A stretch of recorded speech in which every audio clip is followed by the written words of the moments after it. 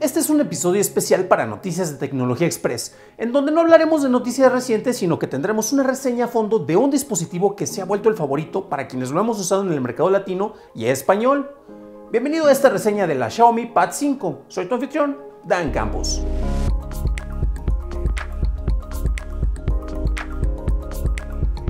Ya llegó, ya está aquí, la tablet con Android más poderosa y con el mejor precio en el mercado.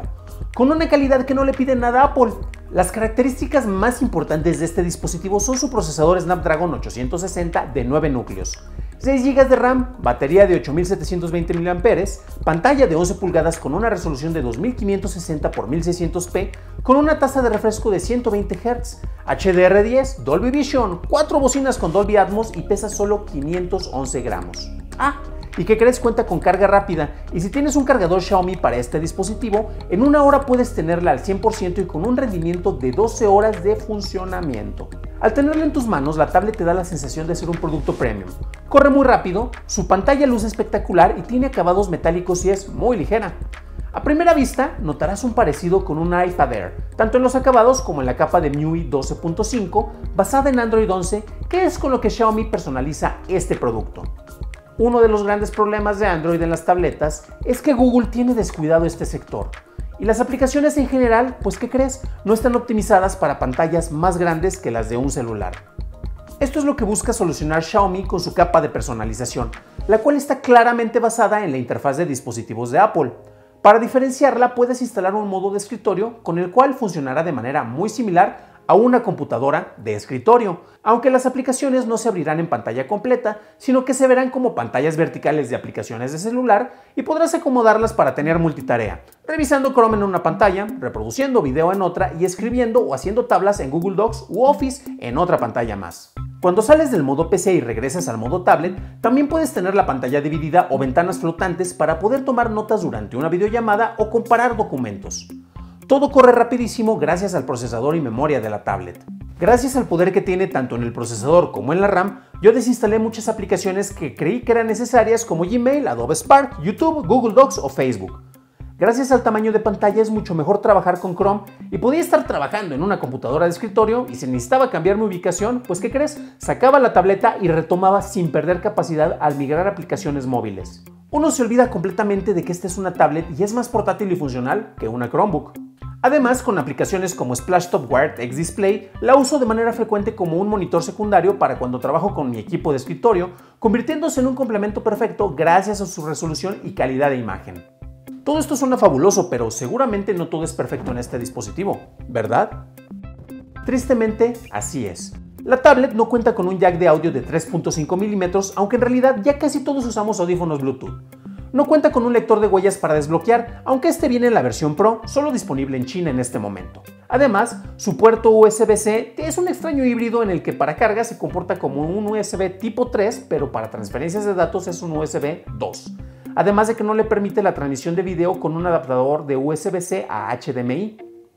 Finalmente tenemos el apartado de cámaras, con una de 13 megapíxeles en la parte posterior y una cámara frontal de 8 megapíxeles. Esta es una prueba con la cámara de video que tiene incluida la Xiaomi Pad 5, la cual cuando tienes buena iluminación se ve bastante bien, eh, tiene muy buena calidad de colores, pero a final de cuentas es una cámara de una tablet, por lo cual es mucho más confiable la que tú tienes en tu celular, pero bueno, para ciertas circunstancias o para algunas videollamadas te puede funcionar muy bien.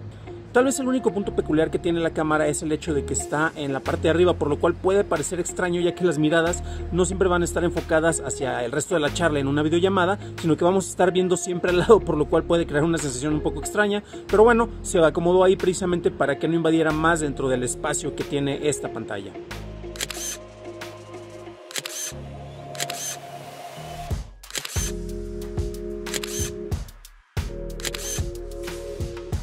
Leer cómics, libros o ver videos son los usos principales de estos dispositivos y para ello esta tablet funciona perfectamente. Con su resolución de 2.5K y con Dolby Vision y una tasa de refresco de hasta 120 Hz, los videos y juegos lucen espectaculares. La única aplicación que da problemas es Prime Video ya que no está certificada por Amazon para mostrar video en HD todavía. Gracias a sus cuatro bocinas emite sonido fuerte y claro, por lo que se puede convertir en tu pantalla secundaria si la quieres usar en la cocina o en lugares reducidos en donde no tienes pantallas, como en el baño. Ok, ok, ok, como dispositivo de entretenimiento y consumo funciona muy bien, pero ¿acaso le ofrece algo a quienes queremos usarla como herramienta para la creación de contenidos? Esa era una de mis preguntas, y tras probarla a fondo durante casi dos meses, puedo decir que sí. Cuatro episodios del podcast de Noticias de Tecnología Express han sido grabados con esta tablet acompañada por un micro Rode NT USB Mini conectada por el puerto USB y fueron editados con el Audio Evolution Pro.